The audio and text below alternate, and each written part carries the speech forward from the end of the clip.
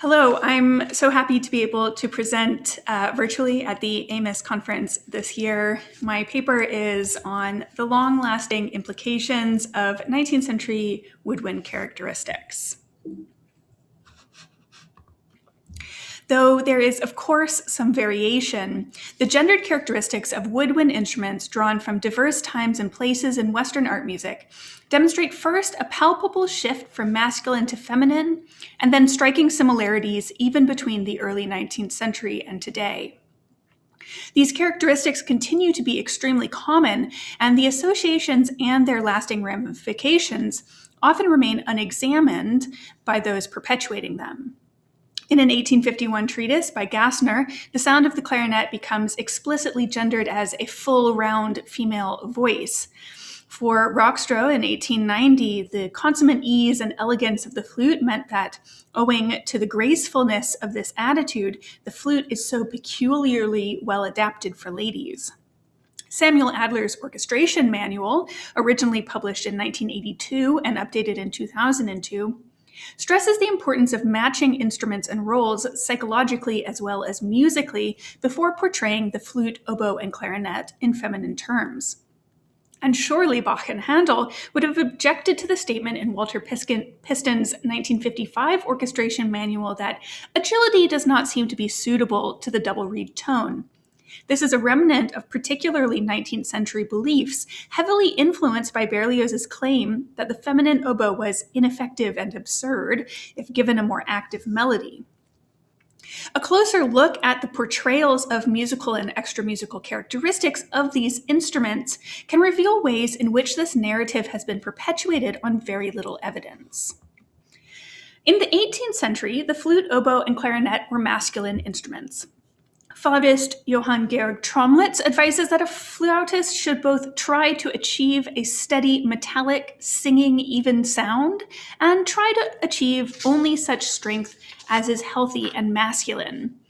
As late as 1838, William Gardiner described a new instrument called clarionet, which had a fiery tone and was better adapted to lead armies into battle. Yet the early oboe was also majestical and stately and not much inferior to the trumpet, as well as brave and sprightly, and this characteristic held during the 18th century. Descriptors often reflect those of an ideal courtly man while also recalling military power, and they associate instruments with a range of moods and emotions. This perhaps reflects the perception, prevalent before and throughout the 18th century, that instruments could frequently be substituted in music without any significant effect. In orchestral works from the first half of the century, and even more so in solo and chamber music, where acceptable instrumentation often included all treble instruments, from the violin to the recorder to the traverse flute to the viol, the character of the piece was separated from the character of the instrument. So the oboe, for example, could easily be seen as majestic, military, and charming by these writers. In many cases, romantic instrument conceptions, like romantic characteristics more widely, function as reactions against 18th century principles. As part of this, during the 19th century, European society experienced an increasing polarization of and preoccupation with gender and gender roles, and upper woodwinds became not just feminine, but female. In earlier periods, we see a difference in sex that was more a quantitative than qualitative matter, and a well populated middle ground between the usual sexes was broadly acknowledged. But the 19th century middle class worried that men were no longer men and that strong women were causing emasculation. And this had a profound impact on conceptions of woodwind instruments, as increasingly feminine woodwind instruments increasingly became a way to reinforce their player's masculinity. Woodwind instruments are not alone in this. The soprano voice moved from a duality of femininity and heroism, as in the form of the operatic countertenor and castrato, to a solely feminine trait. And perhaps the most well known instrumental gendering of this period is the violin's transformation, well before Man Ray's Ingres violin, into a woman's body, seduced and sometimes injured by her male player. Though these in- images are from the early 20th century, similar textual descriptions appear from Paganini's lifetime and throughout the following century. An 1829 review from the Allgemeine Musikalische Zeitung describes Paganini as such. He seemed to be striking his instrument, like the unhappy youth who, after conjuring up the image of his murdered mistress, destroys it again in a fit of amorous rage, then once more seeks to revive it with tears and caresses. This relationship between performer and instrument appears more widely, though. Lavoix writes that flute concertos were, in the 17th, 16th, 17th, and 18th centuries, the most gallant tribute that a most devoted lover could give to his mistress. Not content to play their instruments, the virtuosos of the 17th century added to the ravishing sounds of their flute the charms of their voice. Who here is the mistress? The audience of the piece treated to the beautiful sound of virtuosic flute playing, or the flute itself being wooed by its player and sweetheart. The latter seems suggested by the textual emphasis put on the word ravishing, and the emphasis on that particular word also calls to mind Paganini and his seduced, beloved, tormented violin. So, what we see is that in the 19th century, a combination of changing tastes, philosophies, and instrumental sounds led not only to increasing connections between specific instruments and gendered characteristics, but also to increasing distinctions between instruments and increasing ties between instrumental and compositional qualities. Further, although the transformation became, began early in the 1800s, descriptions of woodwind instruments after the 19th century gender switch remained very static across nearly 200 years of the 19th and 20th centuries. There is no significant difference, for example, in the concentration of gendered remarks between the mid 1800s and the mid 1900s, or in the genders assigned to instruments. These remarks also remain consistent across large swaths of otherwise relatively disparate Europe. The discussion of associations between gender and instruments is common in ethnomusicology, where scholars like Veronica Doubleday categorize gendered relationships between performers and instruments, including instrument player relationships where the masculinity of the instrument reinforces the masculinity of the player, and those where the masculinity of the player relates in a romantic, sexual, or controlling way with the female instrument. However, these relationships are also common within the texts of traditional musicology, as we see with Paganini and Lavoix. This latter relationship, the trope of female instrument and male player, is one that primarily applies to woodwind instruments in Western art music. But both relationships are relevant to woodwind instruments, particularly when examining the change in perception from the 18th century to the 19th century. Schubart, writing in 1806, as you see at the bottom of this slide, claims that bassoon playing demands the fullest breath and such a sound and masculine embouchure that only few people are fit physically to play it in a masterly manner. While by the 19th century, in cro- contrast to Tromlitz's healthy and masculine flute, we have Rockstro, and as we already saw, the consummate ease and elegance, which means that the flute is peculiarly well adapted for ladies. Doubleday describes how one effect of male dominance over musical instruments is that the very image of a woman playing an instrument may be seen as weird, awkward, or laughable. The discussion of which instruments were suitable for female players, in fact, well predates the 19th century switch in instrumental identity. Concern over appropriate physicality for female instrumentalists appears even in ancient Greece. Athena is said to have invented the aulos, but as Heather Hadlock explained, she cast it aside when she realized how playing it would distort her face and compromise her dignity. Male players need not be concerned with this. In 18th century Europe, the harpsichord was seen as suitable, in contrast to wind instruments such as the oboe, described in a 1770s book for young ladies as too manlike. We see here both a concern over female presence and a description of wind instruments as masculine rather than feminine. This concern was not was also not limited to wind instruments. Uh, to 18th century theorists, the cello violated a proper female decorum by, uh, because of the suggestiveness of its embrace like hold, and this continued even in the late 19th century. Scholars like Rita Steblin often concentrate on the fact that during the 19th century, more and more instruments gradually became accessible to female players, but this accessibility remained highly restricted even well into the 20th century. This mirrors the tenacious gendering of musical instruments themselves. As discussed before, 19th century gendering, gendering remained prevalent for much of the 20th century and still impacts current conceptions of instruments.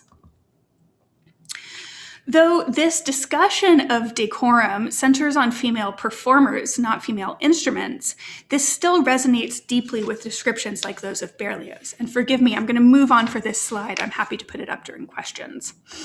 Uh, but for Berlioz, uh, the oboe is an instrument of naive grace, sentimental delight, or the suffering of weaker creatures, and its little bittersweet voice becomes quite ineffective and absurd. A march melody, however direct, however beautiful, however noble, loses its nobility, its directness, and its beauty when given to the oboes. Indeed, in solo music and in operas themselves, the oboe is often deeply associated with tragic operatic women. Uh, Gluck's Eurydice, Iphigenie, Alceste, and Armide, Wagner's Elsa, Freya, Sieglinde, and Brunhilde, Verdi's Amelia, Beethoven's Leonora, all these are represented in their operas by the oboe. Simultaneously, though, the oboe marches through Beethoven's symphonies and transforms Verdi into virtuosic fireworks in hundreds of Italian opera fantasias.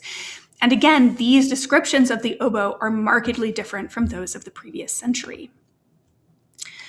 The bassoon has a low range, which means that it is not feminized despite its sweet, more subdued but expressive higher registers. And instead, the clarinet's ability to mimic a female voice in range and volume becomes Berlioz's lonely virgin, and the oboe's ability to accompany sopranos becomes Guichon's description of the oboe as a young girl with feminine softness and secret charms, her palpitating heart an implicit link to the hysterical woman brought under control by a man, here a male player. At a bird's eye view, we overwhelmingly see range based characterizations, often just an elaborate fleshing out of the literal connection between instruments and voice parts. And these show how artificial some of these associations and limitations are, and how basic others are. The clarinet was associated with adaptability and a wider range of characteristics than other woodwind instruments, reflecting its literal wide range.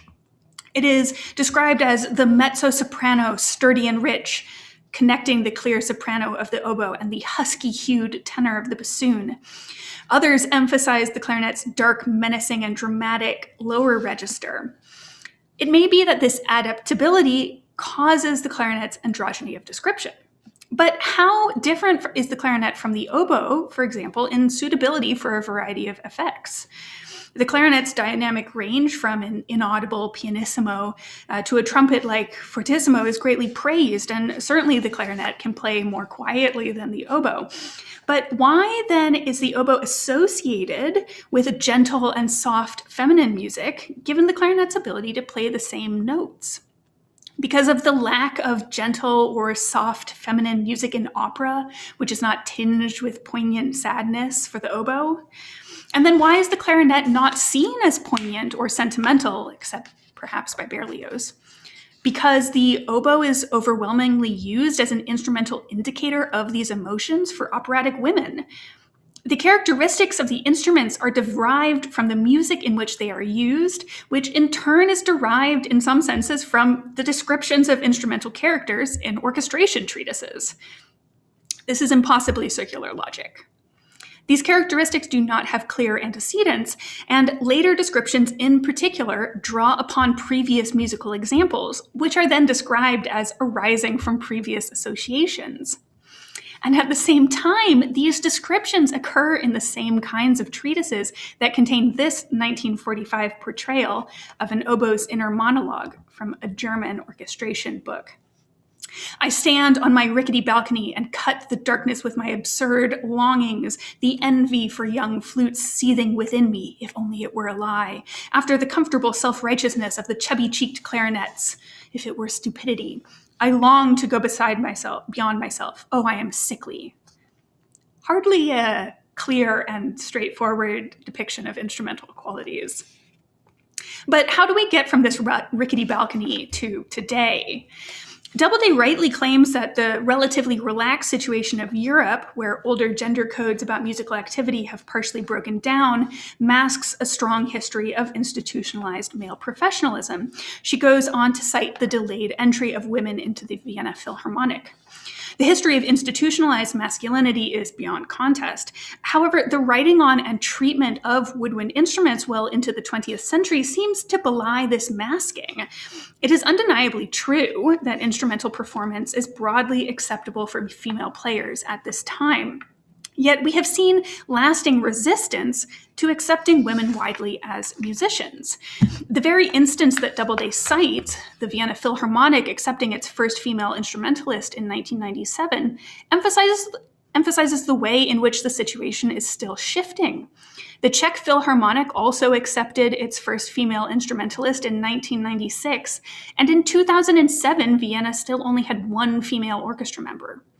Despite obvious diversification, in many ways the default musician is still a man.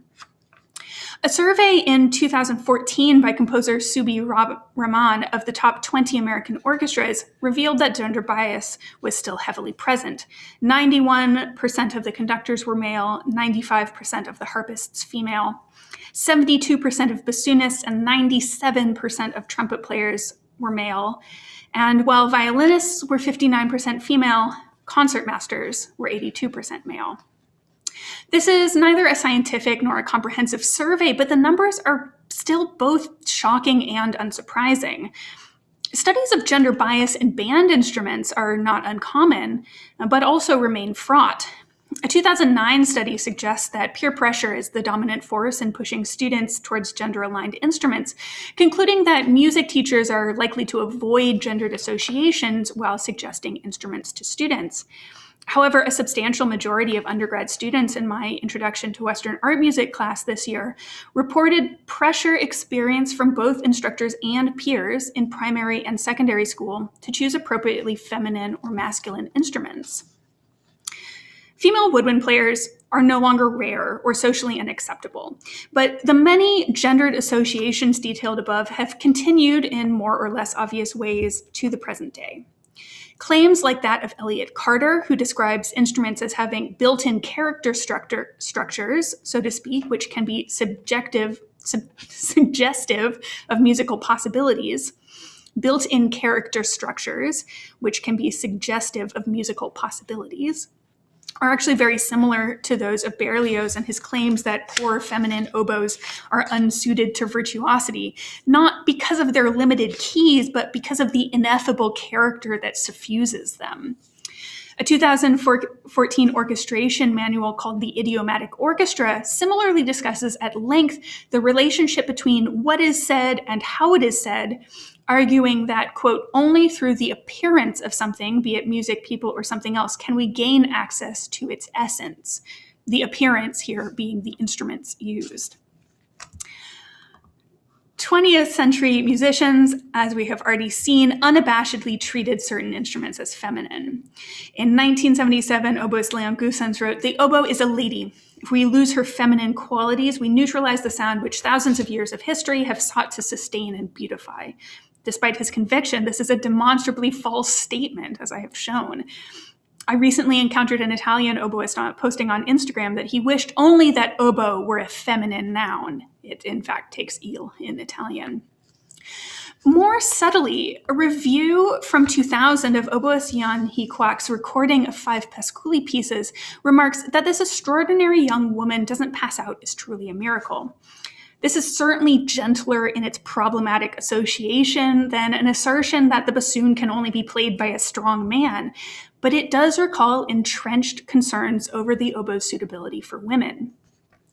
Compare this to a 2013 description of male oboist Francois Leleux playing Pasculli. His virtuosity is limitless and flows so naturally from its source that one is no longer aware of all the hard work that preceded it and this 2018 review of clarinist Martin Frost that initially focuses on his lanky build and physical agility. I challenge you to consider whether you can realistically imagine a review, even in 2021, which concludes that this extraordinary young man doesn't pass out is truly a miracle. Thank you very much.